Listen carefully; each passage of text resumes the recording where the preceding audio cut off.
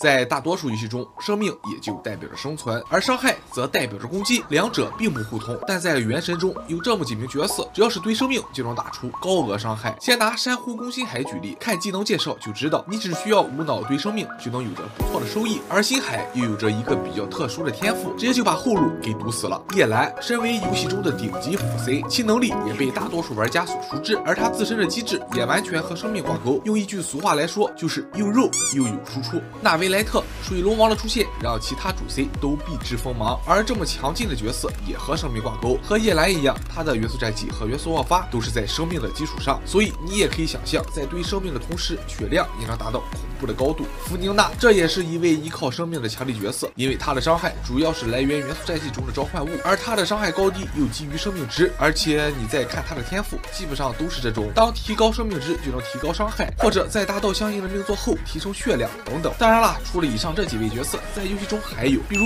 尼鲁、布唐、灵人等等。但纵观整个游戏，真正能做到全生命攻击的，好像都是水元素，而且这几位角色都是大神阵容当中的必练角色。